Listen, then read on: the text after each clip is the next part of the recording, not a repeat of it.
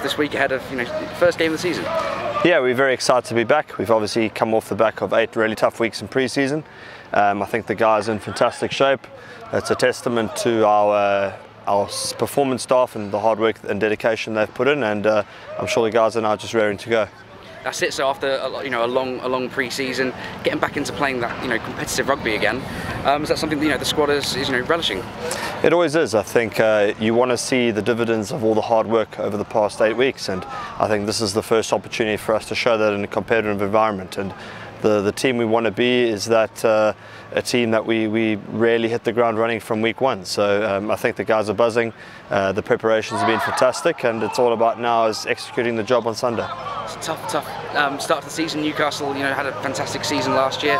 Um, how are the guys preparing for, for that game? And you guys obviously must know how, how tough you know that fixture really can be. Yeah, the good thing about preparation, it tends to not change depending on the opposition. We know what a fantastic team Newcastle are and it's uh, been the same for the past four or five seasons. So we've put a huge uh, amount of preparation into them, and uh, we're really looking forward to the fixture.